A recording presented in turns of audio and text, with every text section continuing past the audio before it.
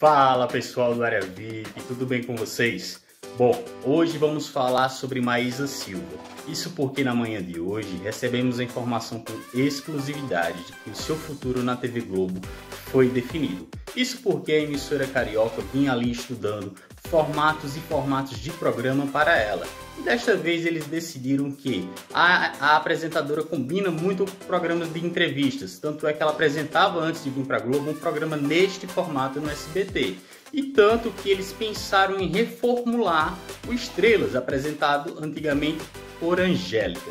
Nesta nova versão da atração, Maís apresentará o programa aos sábados, antes do Mion, como era antigamente, e trará muitas novidades, principalmente para atrair o público jovem, com entrevistas de cantores internacionais, astros do cinema, entre outros assuntos. Será se dessa vez vai vingar um programa de Maísa na TV Globo? Vamos aguardar, né, pessoal? Então não deixe também de comentar aqui abaixo o que é que vocês acham desta grande novidade envolvendo a apresentadora Maísa. Valeu, pessoal, até a próxima.